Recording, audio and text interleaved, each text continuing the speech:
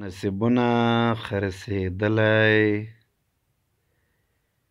که نصیبونه خرڅېدلی ما به دا خپل په کاسره خرڅ کړی ونه ملګرو د افغانانو او د پښتنو بدبختی ته وګورئ چې کله په سوات کې دوی کډه په سر وي بارېږي او کله بیا وزیرستان اوارېږي، ړنګېږي، اقتصاد یې تباه کېږي او پېغلې پېغلې نجونه، هلکان دا یا په کتارونو کې ولاړ وي، خیراتونه غواړي. بیا د سایل صاحب خبره ده. چې بیا د کابل لوښي پېښور ته خرڅېدو ته راغلو، بیا د کابل لوښي پېښور ته خرڅېدو ته راغلو،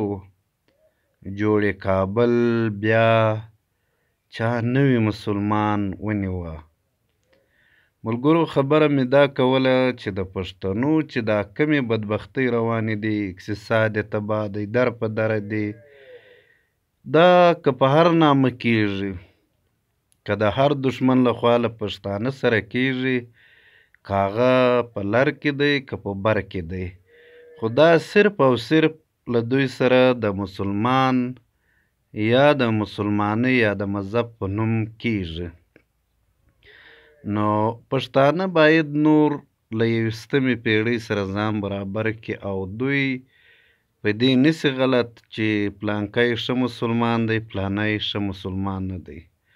تر پښتون تر افغان هيڅوک نه ښه مسلمان دی نه ښه نه څوک ښه انسان دی نه غيرتي دی خو بد بختانه چې پښتانه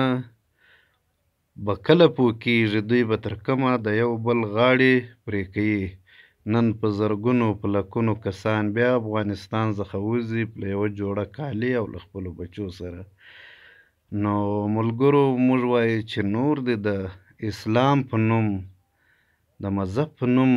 له موږ سره دا نه کیږي ځکه چي په مسلمان خو یو واري دا بد حال راځي